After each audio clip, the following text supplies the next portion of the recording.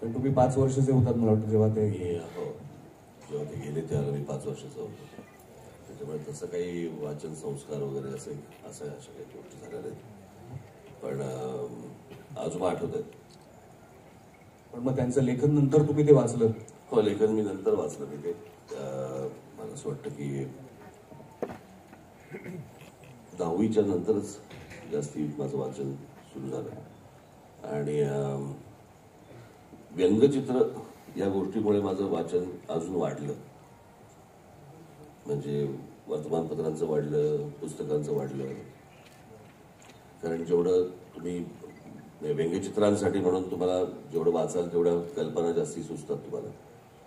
तर त्याच्यामुळे त्याच्यातनं ते वाचित झालं आणि मग ते थोडंसं पण म्हणजे तुमच्या घरात बाळासाहेब ठाकरे आहेत किंवा तुमचे वडील श्रीकांत ठाकरे जे उत्तम लेखक होते चित्रपट समीक्षा त्यांनी उत्तमपणे करायचे. तर त्यांच्याकडून वाचनाचा काही संस्कार आला तुमच्याकडे? त्यांनी तुम्हाला काही पुस्तकं आणून दिली म्हणा किंवा त्यांचं वाचन बघता बघता तुम्हाला वाचावं पुस्तकं आणून दिली. कसं आहे आपल्याकडे एक पहिली गोष्ट आपण लक्षात घेतली पाहिजे. संस्कार. असा काय आज ये रे बाळा आज तुझ्यावर संस्कार करतो. असं काही नसतं.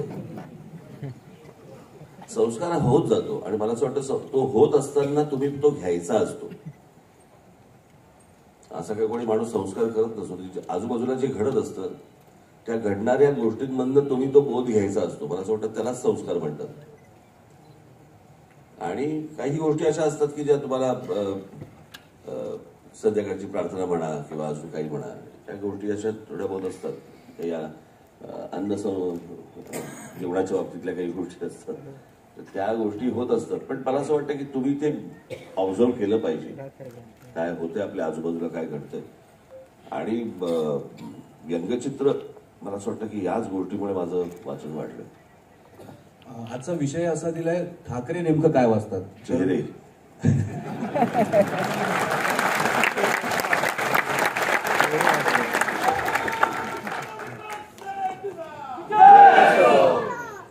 मी तोच प्रश्न तुम्हाला विचारणार होतो की रोज तुम्हाला भेटायला अनेक प्रकारची माणसं अनेक क्षेत्रातली माणसं येत असतात. तर हे माणसं वाचणं पण तुमचं चालू असतं. हो कोण बरोबर राहणार आहे कोण जाणार आहे आधीच कळलं.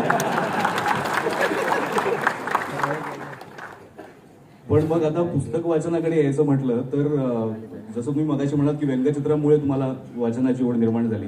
पण नंतर आता जर पाहिलं तर तुमचं इतक्या वेगवेगळ्या प्रकारचं वाचन तुम्ही करता. त्यातला आवडता लेखन प्रकार तुमचा कुठला जो तुम्हाला नेहमी वाचायला आवडतो? असं काही मला लेखन प्रकार मी झेपल तेवढंच वाचतो. आणि माझ्या वाचनाचा मला जर एखादी गोष्ट ती त्यातली आवडली मी जेव्हा भाषण करायला लागलो त्यावेळेला मी मागे हा किस्सा मी सांगितला होता की मला दुपारी मला बाळासाहेबांनी माझं मोर्चा झाल्यावरती बोलावून घेतलं. आणि तेव्हा त्यांनी मला सांगितलं की काय बोललो त्यापेक्षा मी आज काय दिलं? याचा जास्ती विचार कर. तर मी जेव्हा कधी भाषण करतो किंवा मी जेव्हा कधी काही मुलाखत असेल किंवा मी कोणाशी गप्पा मारत असेल त्याला मला असं वाटतं मी काहीतरी दिलं पाहिजे. आणि ते जर मला द्यायचं असेल तर मला वाचलं पाहिजे. मी ते पाहिलं पाहिजे. अनुभवलं पाहिजे. आणि त्यातनं त्या गोष्टी मी दिल्या पाहिजेत. सो ती जी गोष्ट देण्याची जी गोष्ट आहे ती मला असं वाटतं त्याच्यातनं माझं मी वाचत असतो. आणि त्या फिक्शन्स किंवा लव्ह स्टोरीज वगैरे आज काय फालतू गोष्टी वाचत नाही. फालतू तुम्हीच म्हणू शकता. दुसरा प्रेम करतो आपण काय वाचायचो? आपण करतो वेगळा भाग वेगळा ना. आपलं दुसरं बघतो आणि आपण आपले चव घेऊन वाचतोय त्याचं. त्याचं तो बघेल ना. पण म्हणजे किती वाचणं ह्याच्यापेक्षा काय वाचलं हे महत्वाचं आहे. असं अर्थातच. तुम्ही काय वाचलं पाहिजे तुम्ही तुमचं सरळ पाहिजे. आता तुम्हाला जर काही पुस्तक हातात घेतलं ना की कळतं तुम्हाला हे वाचावं की न वाचावं. म्हणजे माझे माझं एक अत्यंत आवडीचं पुस्तक आहे त्याचं काही त्याच्यातलं काही देण्यासारखं काही नाही पण मी स्वतः एन्जॉय खूप करतो ती गोष्ट. आणि ते म्हणजे आता आमच्या अनिता पाटीलचं एकटा जीव नावाचं दादा कोणकेंचं पुस्तक आहे. कुठूनही वाचायला सुरुवात करा. उत्तम पुस्तक. म्हणजे चरित्र वाचायला तुम्हाला आवडतं? हो आवडतं पण ठराविक लोकांचीच. हा. म्हणजे मी ह्याच्यासाठी विचारतो तुम्ही मागे असं म्हणाला होता की गांधी हा जो सिनेमा आहे म्हणजे मला ती जी. पुस्तकं- ती जी पुस्तकं असतात नाही का? अं, जीवनात यशस्वी कसे व्हाल? अरे मग तू का पुस्तक लिहितोय? जो की ना आत्महत्या कशी करावी आणि तो लायब्ररी विचारतो की परत कोण आणून देणार आहे पुस्तक? पण म्हणजे जसं तुम्ही बायोपिकबद्दल नेहमी सांगता की गांधी हा सिनेमा उत्कृष्ट बनलेला एक बायोपिक आहे. तसं पुस्तकाचं म्हटलं तर कुणाचं चरित्र कुणाचं आत्मचरित्र तुम्हाला असं वाटतं की सगळ्यात मला मी मला आतापर्यंत आवडलेली दोन चार मला आवडतात ती. म्हणजे कधी वाचावीशी वाटतात ते. म्हणजे मला इंदिरा गांधींचं चरित्र हे गोकुल जयकरांनी लिहिलेलं इंदिरा पुस्तक ते आवडतं. मला असं वाटतं विग कारेटकरांचं किंवा वाळिंब्यांचं कोणीतरी लिहिलेलं सावरकरांवरचं पुस्तक ते मला फार आवडतं. त्याच्यानंतर मला असं वाटतं वाळिंब्यांचंच किंवा कारेटकरांचं दोघांपैकी कोणतरी हिटलरचं पुस्तक मला वाचायला फार आवडतं. नाझी भस्मासुराचा. हिटलर. हिटलर. हिटलर. त्याच्यानंतर धनंजयराव किरांचं मला बाबासाहेब आंबेडकरांवरचं किंवा लोकमान्यांवरचं फार सुंदर पुस्तक आहे ती. काय आहे ना वाचताना वाचायला तुम्ही एखादी गोष्ट घेतली तर की ती भाषा पण सुंदर पाहिजे. त्याला एक छान फ्लो पाहिजे. आणि तो जो फ्लो असेल तर मला असं वाटतं की तुम्ही त्यात अडकून पडता. मग इतिहासाचं लेखनही तुम्हाला तितकंच आवडतं. हो ऐतिहासिक लेखन. हो ऐतिहासिक लेखन म्हणजे मला सगळंच काही वाचत नाही मी. पण हल्ली ते जरा आपल्याकडे जरा फारच झाले. कोणीही इतिहासावरती बोलायला लागले. पण अं, कोण व्यक्ती आहे कशाबद्दल? आणि मला असं वाटतं इतिहास ही गोष्ट मी त्या दिवशीच कोणाला म्हटलं की आपले आपले पूर्वज म्हणजे हे फक्त आईकडचे आणि वडिलांकडचेच नसतात. तर आपले पूर्वज म्हणजे आपल्या महाराष्ट्रासाठी ज्यांनी ज्यांनी योगदान दिलेलं आहे ते आपले पूर्वज. त्यांना समजून नाही घेतलं तर तुम्हाला महाराष्ट्र काय कळणार आहे? आज आपण म्हणतो की मराठी भाषा दिवस आहे. कुसुमाग्रजांचा आज जन्मदिवस आहे आणि त्याच्या निमित्ताने आपण मराठी भाषा दिवस साजरा करतो. का मराठी भाषा दिवस आपण साजरा करतो? आपल्याला कळलेत का कुसुमाग्रज? आपल्याला समजलेत का? जर ही माणसंच आपल्याला समजली नाही या माणसांनी करून ठेवलेलं जे काम आहे हे जर समजा आपल्याला कळलं नाही तर म्हणजे हे असंच झालं महाराजांसारखंच झालं. जयंत्या आणि पुण्यतिथ्यांना फक्त हार घालायचे महाराज समजून घ्यायचेच नाही तुमचं एक प्रसिद्ध वाक्य आहे की महाराज समजून घ्यायचे असतील तर आधी जिजाऊंचं चरित्र वाचा. अर्थातच. तर हे इतिहास कसा वाचावा याचे संस्कार परत मी परत संस्कार शब्द वापरतो पण ते बाबासाहेब पुरंदरेमुळे तुम्हाला कळायला लागलं की कशा प्रकारे इतिहास वाचायला पाहिजे. अर्थातच. मला बाबासाहेबांमुळे मला खूप गोष्टी मला समजल्या की इतिहास कसा पाहावा त्यातनं काय बोध घ्यावा. म्हणजे मी ज्या ज्या वेळेला मी माझ्याकडे बाबासाहेबांचं सत्याहत्तर सालचं माझ्याकडे एक व्याख्यान आहे त्याच्यात ते ऐकल्यानंतर तुमच्या लक्षात येईल की ते नुसतं शिवचरित्र नाही सांगत आहेत तर आजच्या जमान्यामध्ये तुम्ही कसं वागलं पाहिजे हे शिवाजी महाराज काय सांगून गेलेत ते शिवचरित्र आहे. तर ती गोष्ट मला असं वाटतं आपण समजून घेणं गरजेचं आहे. नाहीतर काय नाहीतर ही सगळी मंडळी नुसती आपल्या जयंती आणि पुण्यतिथ्या त्याच्या पलीकडे बाबासाहेब आंबेडकर वाचायचे नाहीत. फक्त त्याच्यामधनं भांडणं वाद करून उकळून काढायचे. ती त्या व्यक्तीचं समजून घेतल्या नाहीत आपण. मग मग काय उपयोग आहे त्या गोष्टीला एक तुमचाच विचार होता आंबेडकरांच्या संदर्भातला की त्यांचं उचित स्मारक कशा प्रकारे असावं? तुमच्या डोक्यात विचार होता. आणि तो अर्थातच ग्रंथांशी संबंधित होता कारण आंबेडकरांचं पुन्हा वाचन हे प्रचंड होतं. आणि त्याचे खूप म्हणजे त्यांनी स्वतः लिहिलेले आहे त्यांच्याबद्दल लिहिलेल्या चरित्रामध्ये सुद्धा त्याचा उल्लेख आहे की प्रसंगी त्यांचे वडील जे आहेत ते पैसे कुणाकडनं तरी आणून वगैरे पुस्तकं द्यायचे. मी इतकं त्यांचं वाचन होतं. तर उचित स्मारक त्यांचं कशा प्रकारे होईल तुमच्या डोक्यातली म्हणजे? आपल्याकडे स्मारकाच्या कल्पनामध्ये पुतळे आहेत. त्या पुतळ्यांना काय किती पुतळे बांधाल तुम्ही? त्या पुतळ्यांची अवस्था काय असते? कोणी त्याच्याकडे वर्षभर बघतही नाही. जयंती आली की धुतात पुण्यतिथी आली की धुतात. एरवी कोणी पाहत पण नाही. आज ती जी इंदू मिल जी आहे बाबासाहेबांच्या नावाने आज तिकडे स्मारक होतंय. आणि माझी तीच इच्छा होती की त्या सगळ्या ठिकाणी एक आपल्याकडे पूर्वीच्या काळामध्ये ज्या अं, विद्यापीठं जी होती जी तक्षशिला होती तक्षशिला ती पाकिस्तानमध्ये पण आपल्याकडे ब- बिहारची आपली नालंदा होती. जगभरामधनं खरं तर आशिया खंडामधनं असे खूप लोक त्या विद्यापीठांमध्ये शिकायला जायचे. माझी इच्छा होती की बाबासाहेब आंबेडकरांच्या नावाने जर तिकडे स्मारक होत असेल तर जगातली सगळ्यात मोठं वाचनालय किंवा लायब्ररी ही बाबासाहेबांच्या नावाने तिकडे व्हायला पाहिजे आणि जगभरामधनं लोक ज्ञानासाठी तिकडे आले पाहिजे. की मला ज्ञान मिळवायचंय तर मला ज्ञान कुठे मिळवायचंय? तर मला बाबासाहेब आंबेडकरांच्या मला जिकडे स्मारक आहे तिथे मला ते मिळणार आहे पुस्तक. तिथे मला ते ज्ञान मिळणार. आहे सो जगभरामधनं लोक तिथे गेली पाहिजेत. इतकं भव्य मोठं असं अशा प्रकारचं तिथे लायब्ररी ही बाबासाहेबांच्या नावाने होणं गरजेचं आहे. बाकीचे काय तुम्ही पुतळे आणि याच्यात तर काय होणार? मग महाराजांबद्दल पण माझं तेच म्हणणं होतं. समुद्रामध्ये महाराजांचा पुतळा उभा करणार तुम्ही. महाराजांचे गडकिल्ले ही महाराजांची स्मारक आहेत. पुतळे काय बांधायचे? पुतळे तर चौका चौकामध्ये बांधलेत आपल्याकडे. कोण पाहत नाही त्या पुतळ्यांकडे? उद्या भविष्यातल्या येणाऱ्या पिढ्यांना आपण काय दाखवणार आहोत? काय सांगणार आहोत? आमचे महाराज कोण? हे पुतळा. ते गडकिल्ले ते गडकिल्ले महाराजांनी कसे उभे केले? काय केलं? हे जर समजा पुढच्या पिढ्यांना आपण सांगणार नसू येणाऱ्या कसे शिवाजी महाराज समजतील. तुम्ही एक ग्रंथालयाचा उल्लेख केला जाता आणि असं एक भव्य ग्रंथालय खरंच खरं तर व्हायला हवं. मी एकदा परदेशातनं येताना आमच्या अनिल चिलकरांना ते पुस्तक मी भेट दिलं होतं तेव्हा. खूप बरीच वर्ष झाली. असेल त्यांच्याकडे ते पुस्तक. जगभरामधली उत्तम ग्रंथालय. म्हणजे त्याची जर साईज बघाल तुम्ही त्या सगळ्याची तर म्हणजे डोळे फाटतात. आणि विलक्षण त्याचं आर्किटेक्चर आणि त्या सगळ्या गोष्टी अद्भुत आहे सगळं. अशी गोष्ट आपल्याकडे काय नाही होत? आपल्याकडे जास्त गरज आहे कारण सगळ्यांनाच पुस्तक विकत घेऊन म्हणजे म्हणजे काही वाचनालय मी अशी बघितलेली आहेत की तिकडे बसलेला माणूस आणि पुस्तक एकसारखे दिसतात. तेवढेच कंटाळलेले. जीर्ण. पण मग आपल्याकडे जी ग्रंथालय आहेत आणि त्यांची खरंच गरज आहे कारण आज पीएचडी करणारे विद्यार्थी असतील अभ्यास करणारे असतील त्यांच्यासाठी ज्या अभ्यासिका असतील या सगळ्यांचीच अवस्था म्हणजे सगळी आहेत काही आमच्याकडे. दादरला शिवाई पार्कला वसंत वाचनालय म्हणून आहे.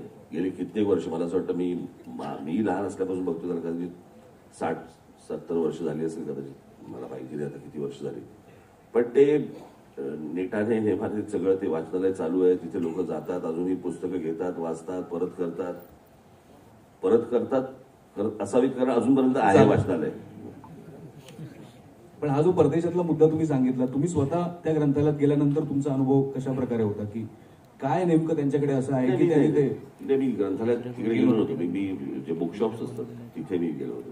ते पुस्तक तुम्हाला दिसलं. पण त्यांनी असं काय असं केलंय की आपल्याकडे ते जमत नाही करायला? किती ग्रंथालय मी नुसती वाचनालय म्हणत नाहीये. जिथे बसून अभ्यास करता येईल जिथे बसून पुस्तकं वाचता येईल ज्यांना पुस्तकं घेणं परवडत नाही अशा लोकांसाठी.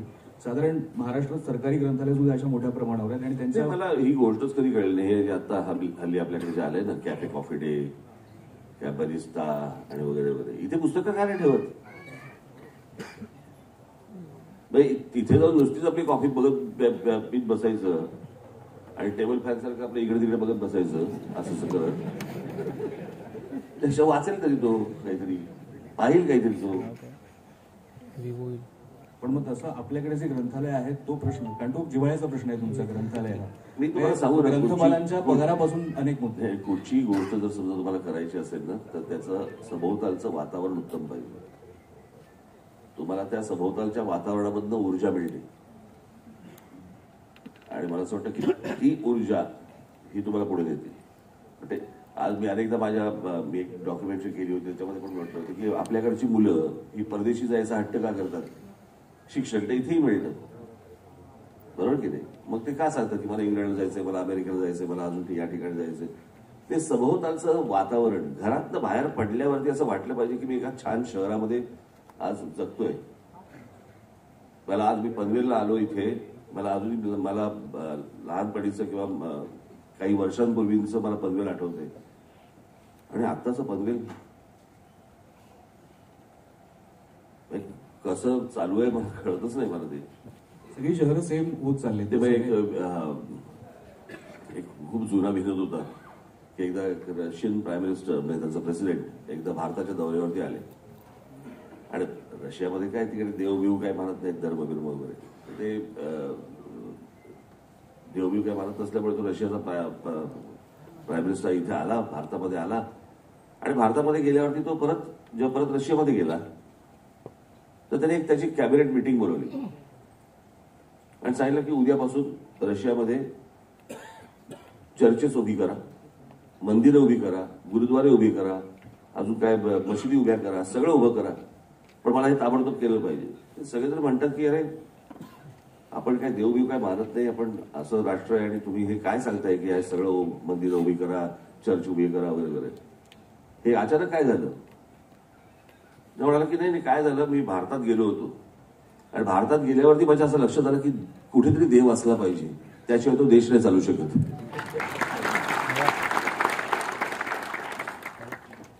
तसं पनवेलला बघताना मला झालं. आता मी जो आतून आतून आतून आतून जो पनवेल मधलं येत होतो त्यावेळेस मला असं वाटलं की नाही कुठेतरी आहे देव कुठेतरी आहे. पुन्हा तुमच्या ह्याच्या सांडपाण्याचं काय होत असेल? पाणी कुठून येत असेल? कचरा ह्याचा कुठे जात असेल? ह्याचं डम्पिंग ग्राउंड आहे का नाहीये?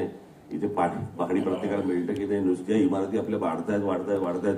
सगळ्या शहरांची ही चालत आहे. म्हणजे ही ग्रोथ नाहीये ही सूज आहे. हे अजून आपल्या लक्षात नाही येते पण म्हणजे मतदारांकडून पण तुमच्या काही अपेक्षा त्या निमित्ताने आहेत का? की सोशल मीडिया आहे तुमच्याकडे. हो. वाचन जर करायचंच असेल तर तिथलं अशा पद्धतीचं सध्याची महाराष्ट्रातली राजकीय परिस्थिती पाहता मतदारांना काही व्हॅल्यू आहे असं मला वाटतच नाही.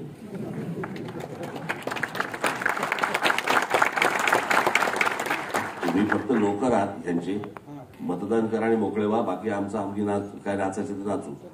आज ह्याच्याबरोबर फुगडी तर त्याच्याबरोबर जिम्मा ठीक आहे राजकीय प्रश्नांवर आपण मी थोडा येतो नंतर पण आपण वाचनाबद्दल बोलतोय. असं कधी झालंय का तुमच्या बरोबर की तुम्ही एक पुस्तक तुमच्या तरुणपणात मी अजून तुम्ही तरुणच आहात माफ करा. विद्यार्थी दशेत असताना मनाने तरुण हो म्हणजे. तर विद्यार्थी दशेत असताना वाचलेलं पुस्तक काही वर्षांनी पुन्हा वाचलं नव्याने कळलं आता वाचलं नव्याने कळलं. असं होत होतं का तुमच्याबरोबर? झालंय का अं, नाही, असं काही नाही. पण मी मी मगाशी जी पुस्तकं सांगितली मला असं वाटतं की ती मी वाचताना मला मजा येते. बाबासाहेब परत परत वाचायला मजा बाबासाहेबांचं शिवचरित्र वाचताना मला खूप मजा येते. आजही वाचताना मजा येते. आणि अशी अनेक पुस्तकं आहेत. की जी रणजित देसाईंचं श्रीमान योगी वाचताना येतं. किंवा विश्वास पाटलांचं संभाजी वाचताना येतं. येतं. नव्या लेखकांची पुस्तके वाचता तुम्ही आजच्या पिढीतली? लव्ह स्टोरी किंवा फिक्शन नाही. मला आत्ताच्या ह्याच्यामध्ये मला अं, चांगली पुस्तकं ली म्हणजे लिखाण चांगलं आणि विषय समजून सांगण्याची पद्धत चांगली. ती मला असं वाटतं की गिरीश कुबेर यांची पुस्तकं फार अप्रतिम असतात. म्हणजे आंतरराष्ट्रीय राजकारण एक आंतरराष्ट्रीय राजकारण कळतं त्यांचं पुतीन उत्तम पुस्तक आहे. त्याच्यानंतर त्यांचं अं, तेल नावाचा इतिहास नावाचा इतिहास आहे किंवा एका तेलियाने किंवा दीपक करंजीकरांचं घातसूत्र. अप्रतिम पुस्तक. म्हणजे ते पुस्तक वाचण्यावरती आपल्याला कळतं की आपण चिल्ड आहोत. टाटा यांनी सुद्धा. गिरीश कुबेर हो. टाटा. तर मला असं वाटतं की ही काही पुस्तकं हे काही लेखक असे आहेत की जे लिहिण्याची पद्धत छान असली पाहिजे. म्हणजे आमचे आजोबा सांगायचे ना की पूर्वीचे संपादक हे समाज शहाणा कसा होईल याच्यासाठी लिहायचे. आणि हल्लीचे संपादक मी किती शहाणा आहे दाखवण्यासाठी लिहितो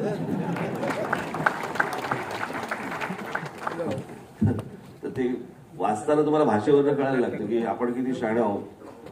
हे जर समजा त्याच्यामध्ये असेल तर मी बाजूला काढतो. महत्त्वाचा एक प्रश्न आहे. मी जरा भीत भीत विचारतोय इतकं सगळं वाचनाबद्दल तुम्ही सांगताय इतकं पुस्तकांबद्दल सांगताय. तुमची लायब्ररी जी घरची घरातली लायब्ररी पर्सनल लायब्ररी इतकी मोठी आहे ज्यांनी बघितले त्यांना माहिती असेल. पण जेव्हा तुम्ही विरोधकांवर काही टीका करता किंवा एखादा मुद्दा तुम्ही जेव्हा चर्चेत आणता तेव्हा विरोधकांना विचारलं जातं तुमच्या याच्यावर काय प्रतिक्रिया? तेव्हा ते सांगतात ते राज ठाकरेंनी जरा वाचन वाढवावं. अशी जेव्हा प्रतिक्रिया तुम्हाला ऐकायला मिळते तेव्हा तुम्हाला आता जसे हसलात तसं हसता की वाईट वाटतं की असं एवढं वाचतो आणि तरी पण मला असं म्हणतात असं नाही नाही, हा त्यांच्या अज्ञानाचा भाग असतो त्यामुळे मला काही फरक नाही पडत त्या गोष्टीचा. त्यांना काही प्रतिक्रिया द्यायची नसते म्हणून मग हे एक वाक्य. बरं मी जेव्हा त्याच्यानंतर जेव्हा चार दुर्या टाकतो तेव्हा ते पॅक होतात त्याच्या पुढे जरा बोलता येत नाही. तुम्ही मार्मिक वाचता का अजून? सामना आणि मार्मिक. नाही. सामना पण नाही वाचत? नाही. तुमच्याकडे येतही नाही? येत येत होतं. अच्छा. मी वाटत. नाही नाही वाटत आता की काय हल्ली वर्तमानपत्रामध्ये तशा बातम्या पण फार नसतात म्हणजे चॅनल तर बघवतच नाहीत.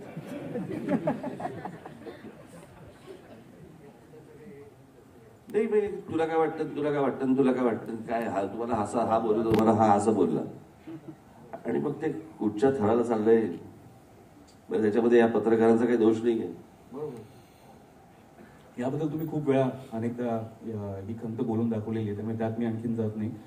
पण एक महत्त्वाचा एक प्रोजेक्ट तुम्ही केलेला आपण त्याला प्रकल्प म्हणून जर बघितलं तर बाळासाहेब ठाकरेंची फोटो बायोग्राफी उत्तम देखणं आणि नुसतं पुस्तकच नाही तर तो सोहळा सुद्धा असा की लक्षात राहण्यासारखा की इतकी दिग्गज एका स्टेजवरती सगळं तुम्ही जम- जमवलं. त्यावेळेच्या काही आठवणी तुम्हाला आज सांगता येतील का की ते कसं घडलं? कारण ती निर्मिती प्रक्रिया जी आहे ती आजच्या पिढीला सुद्धा सम- समजावावी अशी आहे. ते काय होतं? बाळासाहेब नेहमी सांगायचे की मी आत्मचरित्र कधी लिहिणार नाही. आणि आम्ही कधी विचारलं नाही की "बाबा, तू का नाही लिहिणार एके दिवशी माझ्या मनात आलं की अरे ऑटोबायोग्राफी नाही. म्हटलं किमान फोटोबायोग्राफी तर करता येईल. आणि असे खूप फोटो म्हटलं मिळतील असतील. विचार केला सुरू केलं. आणि मग शेवटी फोटो मिळला काही सोपी गोष्ट नाही ना की त्याची त्याची लिंक लागली पाहिजे. वाटलेले फोटो काय कोणाकडेही फोटो मिळतात. आणि ते कोणावर तरी उभे असलेले फोटो असतात नाही का? त्या फोटोला काही अर्थ नसतो. त्याच्यात एक गंमत पाहिजे फोटो मग काही फोटो मला मिळाला मिळायला सुरुवात झाली. माझ्या त्याच्यामध्ये सगळ्यात महत्वाचं म्हणजे माझ्या वडिलांमुळे ते खरं तर पुस्तक होऊ शकलं.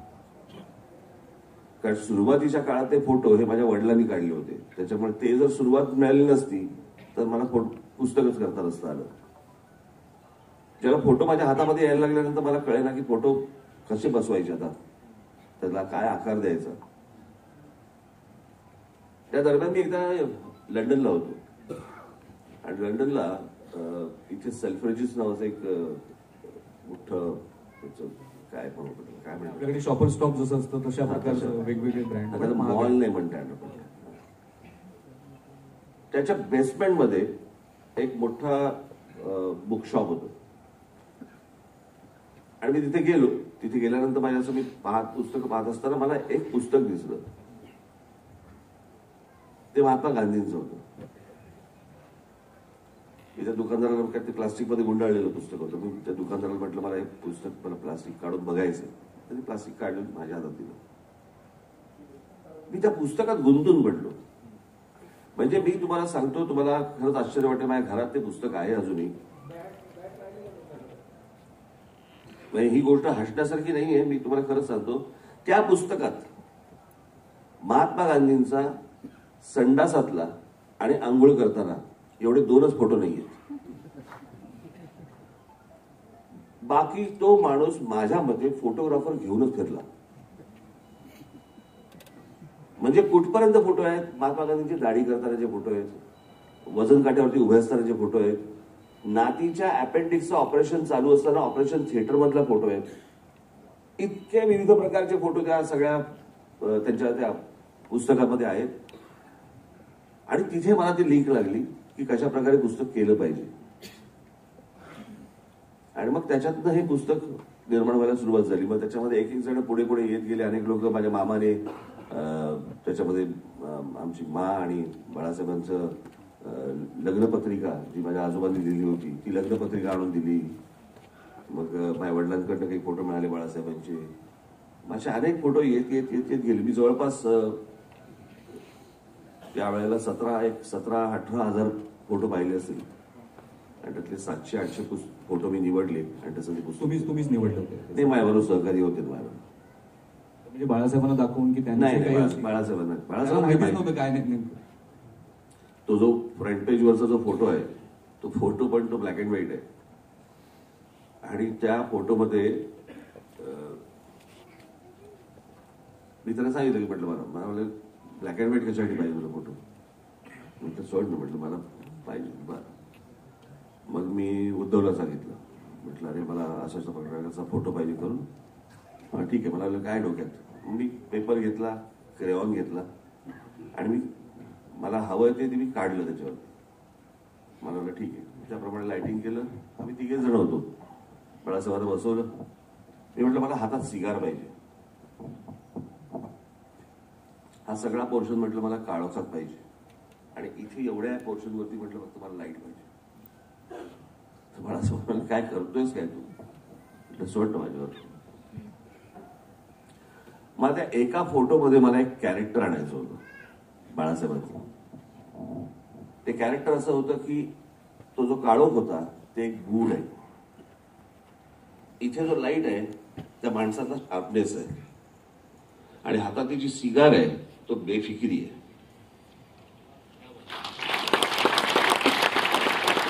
तर ते मला एका फोटोमध्ये ते फक्त आणायचं होतं. आणि म्हणून तो मी फोटो तसा काढला. खूप खूप छान आणि मी त्या गांधींचं. पुस्तक जे आहे त्या गांधींच्या पुस्तकामध्ये कुमार केतकरांना विचार एकदा. मी ते पुस्तक त्याचं फ्रंटेज आहे महात्मा गांधींचं. इथून वरती नाहीये आणि इथून खालती नाहीये. असा अर्धवट फोटो आहे. मी विचार करत होतो म्हटलं सर असा अर्धवट फोटो देण्यात काय काय पॉइंट आहे? मी त्याच्यामध्ये खूप विचार केला. आणि माझ्या असं लक्ष झालं आपण जसं ते तो हा ओरडला होता ना युरेका. तसं मला त्या फोटोमध्ये मला जाणवलं की काय त्याचा अर्थ काय असेल? की इथून वरती नाही आहेत महात्मा गांधी आणि इथून खालतून नाही आहेत आणि पूर्ण पुस्तक अख्खं पानभर फ्रंट पेज आहे त्याचं. आणि माझ्या असं लक्ष झालं की त्यांना बहुधा सांगायचं असेल माणूस चौकटीत मावत नाही.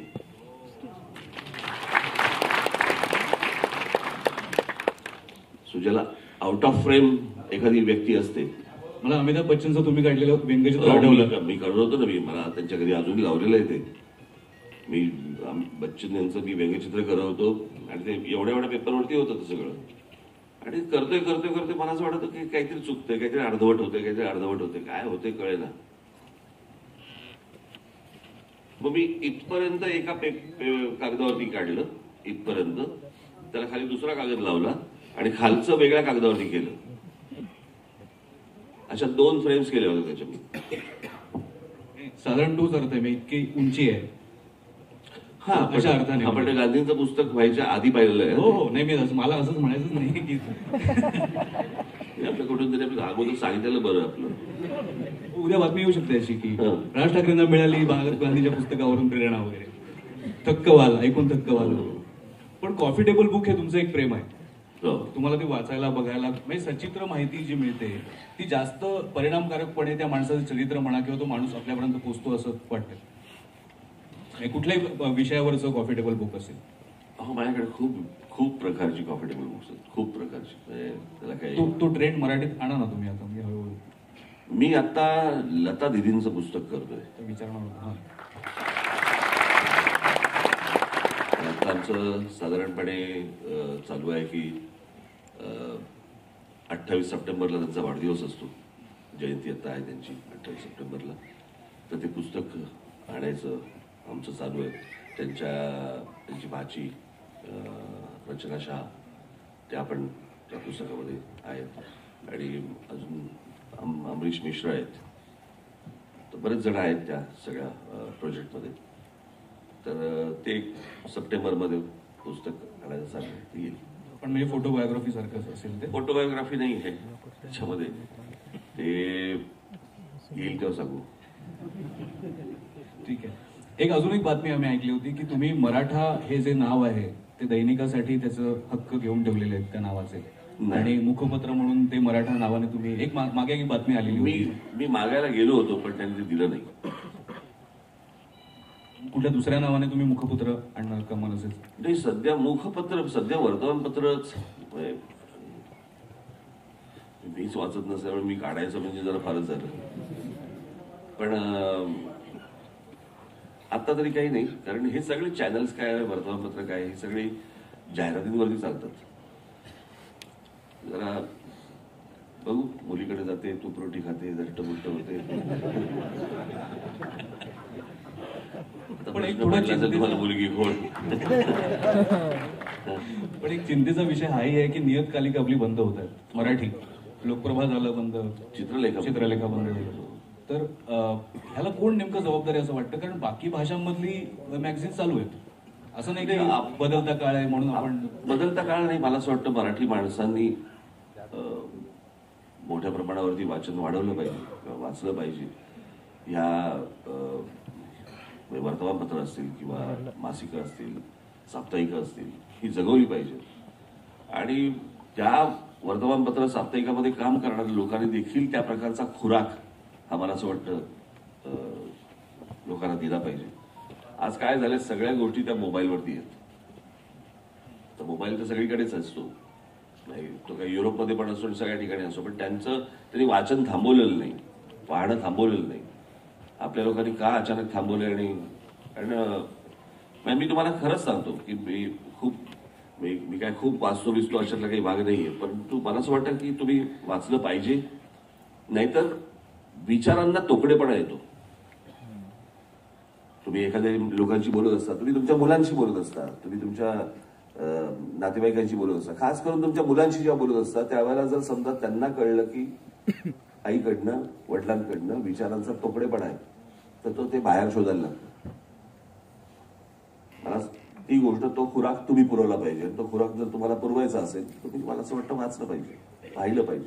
म्हणूनच आज एम एन एस अधिकृत वरनं जेव्हा तुम्ही संदेश दिला शुभेच्छा दिल्यात मराठी भाषा दिनाच्या तर त्यावेळेला तुमचं एक वाक्य आहे त्याच्यामध्ये की मराठी भाषा हीच मराठी समाजाला एकजूट. महत्वाचं काम करू शकते. अर्थातच. ते काय तुमची मुळात ओळख काय? तुम्ही बोललात की मी कोण आहे? तुम्हाला विचारलं तुम्ही कोण आहात? तुम्ही मराठी आहे. बरं.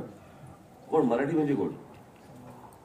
तर मी मराठी भाषा बोलणारा माणूस आहे किंवा व्यक्ती आहे. सर भाषा लँग्वेज ही तुमची ओळख असते. भाषेने तुम्ही जगात ओळखले जातात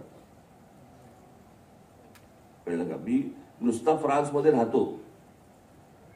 ह्याला काही अर्थ नाही. मला फ्रेंच बोलता येते. मी फ्रेंच आहे. मी फ्रेंच आहे म्हणजे मला फ्रेंच भाषा बोलता येते. इंग्लिश येत नसेल तरी तो कमीपणा त्यांना वाटत नाही तिथे. फ्रेंच जेव्हा. कट्टरपणा पण हो हो घेतो घेतो दुसरे घेतो विषय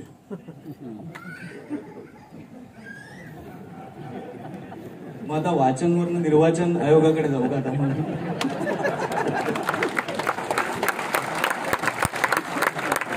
actually? वाचन ते ऍक्च्युली निर्वाचनच लिहायला पाहिजे राजसाहेब कालच अजित पवार असं म्हणाले की मी निवडणूक आयोगावर टीका करत होते पण ते असं म्हणाले की उद्या मनसेचे एक आमदार आहेत आणि त्यांनी जर उद्या पक्षावर आणि चिन्हावर दावा सांगितला तर निवडणूक आयोगात ते मान्य करणार आहे का? तर ठीक आहे त्यांनी मनसेचं जरी उदाहरण दिलं असलं तरी सगळ्या पक्षांच्या मनात एक ती भीती निर्माण झालेली आहे का सध्या? ते काय आहे मी तुम्हाला खरं सांगतो तर म्हातारी मेल्याचं दुःख नाही काळ स्वभाव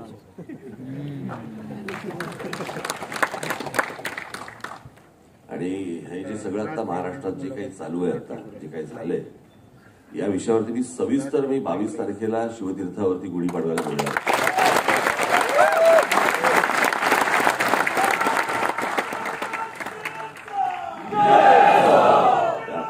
बस बावीस तारखेला मी बोलून. पण तरी पण मी एक प्रश्न विचारतो. जे काही झालं ते आता जे घडलेल्या घडामोडी आहेत त्या म्हणजे निवडणूक आयोगाने दिलेला निकाल.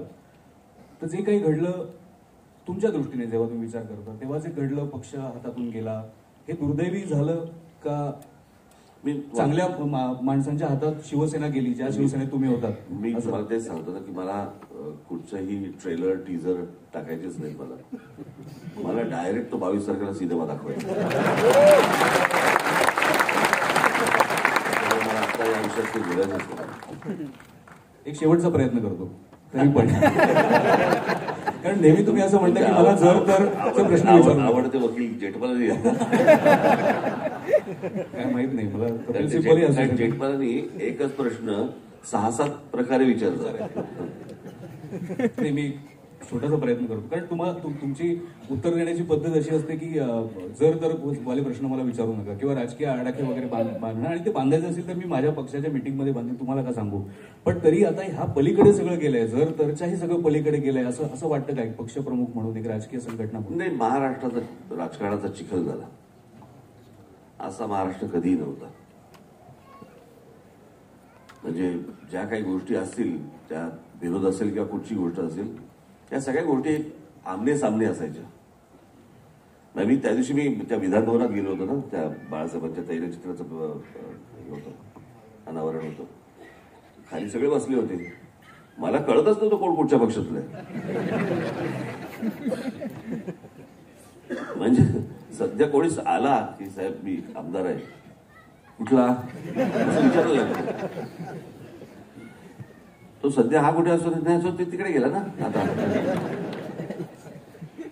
मला ते राजू पाटीलला आमच्या विचारायचं पण आहे की घेता का म्हणून. एकदा बघा हातात घेऊन बघा मग आमचं काय जळतं ते कळेल तुम्हाला.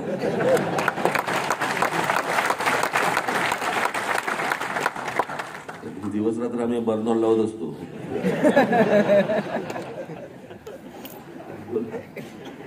वाटतं मी पण प्रेक्षकात बसून बसून जास्त एन्जॉय केलं राजसाहेब शेवटचाच अगदी प्रश्न विचारतो. या सगळ्या निमित्ताने आता तुम्ही म्हणाल की राजकारणाचा चिखल झाला वगैरे सगळं पण या निमित्ताने ना एक क्रिएटिव्ह लोक आपल्याकडे खूप आहेत आणि ते मीम्स आणि म्हणजे एक प्रकारे तो व्यंगचित्राचाच प्रकार झाला असं म्हण- म्हणता येईल. तुम्ही ते बघता का? तुमच्यापर्यंत कोणी ते घेऊन येतं का? हो बघतो. म्हणजे असे अनेक विनोद असतात जे मला माझ्या आजूबाजूच्या लोकांकडनं मला काल फार छान एकाने नाही एक विनोद पाठवला की समजा तुम्हाला देव भेटला दिसला समोर आला आणि भेटला तर काय कराल? तर त्यांनी सांगितलं पहिलं मी बघीन की देव माझ्या घरी आलाय की मी देवाच्या घरी गेलोय.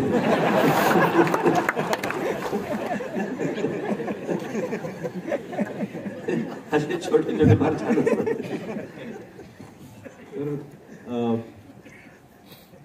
धन्यवाद खरं तर. म्हणजे की थोड्या वेळात तुम्ही इतक्या सगळ्या गोष्टी बोलून दाखवता अं, ते मूल रडलं नसतं तर मलाही सिग्नल नसता मिळाला खरं तर. पण अं, या या गप्पा महत्त्वाच्या असतात नेहमी तुमच्याबरोबर करण्याच्या. आणि जसं राजसाहेबांबद्दल सांगायचं तर कुठेही ते गेले कुठेही भाषण असलं पाच मिनिटाचं असलं वगैरे तरी ते नेहमी लाईव्ह असतात. मला वाटतं हे महाराष्ट्रातले एकमेव नेते असतील. की ते भाषण करतात ते लाईव्ह जातं सगळ्यात चांगलं पाहिजे तर असं धन्यवाद. आज मराठी भाषा गौरव दिनानिमित्ताने तुम्हालाही सर्वांना मराठी भाषा दिनाच्या मी मनपूर्वक आणि माझी खरंच मनापासून इच्छा आहे की तुम्ही आज सभागृहामध्ये आहात. त्यांच्याबद्दलही सभागृहात नाही आहेत. जे चॅनलमधनं बघतात त्यांच्यासाठी बोलतो मी. खूप नाही पण किमान तुम्ही काही गोष्टी राज्य भाषा आपण कोण आहोत हे समजून घेण्यासाठी तरी तुम्ही वाचलं पाहिजे असं माझं मत आहे. धन्यवाद. हा संदेश खूप महत्त्वाचा होता. मराठी वाचूया मराठी वाढवूया. निश्चित. आणि त्यासाठी जे जे काम करतात ते सगळ्यांना बळ देऊया. धन्यवाद राज साहेब धन्यवाद.